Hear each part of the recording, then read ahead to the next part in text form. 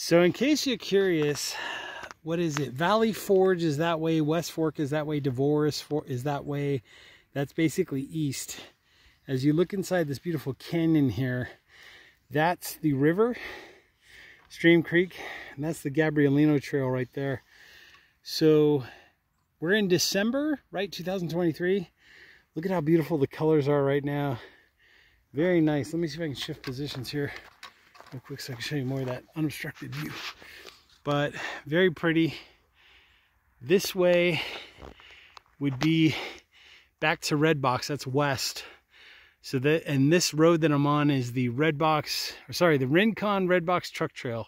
That's the road that I'm on now. Very wide, very easy, uh, easy to a fault. You know, if you're a beginner, it may take you a little while. You know, maybe like uh, a mile per hour, maybe a mile every 45 minutes, but not too bad. The downhill is a little slow going because you're always afraid you might slip or something. Got to have good shoes and all that good stuff. I bring my trekking poles but very nice very nice area up here i um i try to get up here like as much as i can but anyways that is the rest of the road the rincon red box truck trail which basically goes down and then eventually i think on the other side of that that last little peak or whatever that's where valley forge is so i'll be going there soon meeting up with some friends let's see what happens. Anyways, if you like what you're seeing, hit that like button, hit the subscribe button down there below.